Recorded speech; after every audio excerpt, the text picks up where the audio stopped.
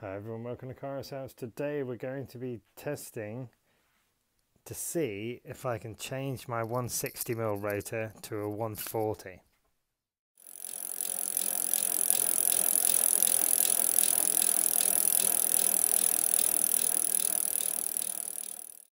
Hi everyone, welcome to today's episode. I need to change this rotor out for a 140. It's fairly straightforward, but I'm not sure if I've left enough cable when I built the bike.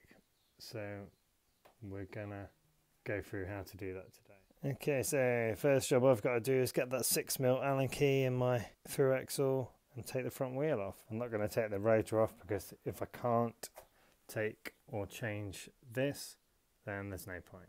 So first job we're going to do, take off the caliper and the 160 shim.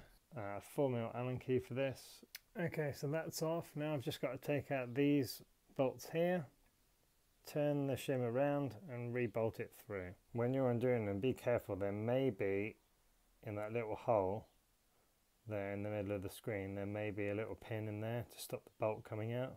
Be wary of that. Okay, I've got the shim off, as you can see, up for 160. You just flip it over and up for 140. So the shim goes back on with 140 up just tighten up those bolts and then attach everything back onto the fork. What I can tell you is it's it will fit. Um, there's not a lot of slack, but it will go in, so that's going to be perfect. It's only hand tight at the moment because obviously I've got to center of the rotor on in the caliper. I've just got to change over the 140 here and the 160 here. Most of you I'm assuming will have a center lock ring attachment for your rotor locks, but I don't. Um, I'm going to be using this tool. Um, so mine fits on the outside here. Just checking the 140 rotor for thickness. Um, Shimano minimum thickness is 1.5. I can't get that on the rotor. I can't get 1.5 on, but I can get the 1.8. So I'm well within tolerance. Good little tool to have so you know when your rotors are too thin. Okay, so we've now got our 140 rotor on. Let's give it a spin.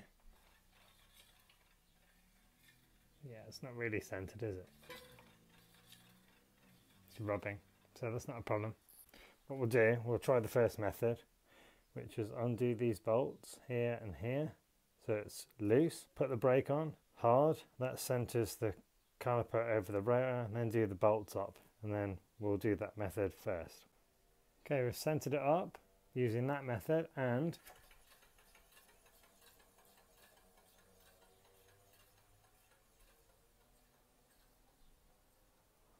and um,